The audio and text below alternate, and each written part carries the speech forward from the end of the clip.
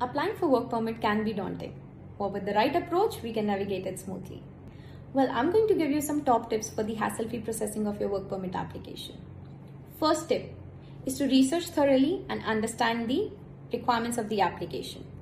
Second tip is to start early and plan ahead because work permit can take a lot of time. So you need ample of time for the preparation of the application. Third tip is to prepare your documents in advance. Well, this is one of the most important step for the smooth processing of your application. So you prepare some common documents ahead of your application. One, passports. Second, education documents. Third, employment documents. Fourth, proof of financial stability. Fifth, any additional document required by the immigration authorities. Fourth tip, seek professional guidance. If you need any clarification or you find the process too complex, well, fourth tip is to seek professional guidance. Immigration experts and lawyers specializing in the work permit can add an valuable assistance to your application. Our immigration experts at AMK Global Group will help reduce your stress and hassle for relocating internationally.